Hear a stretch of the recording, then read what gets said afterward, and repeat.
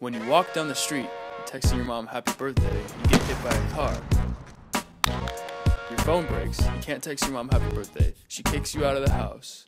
Then you're forced to live with your grandma. And you don't want to live with grandma.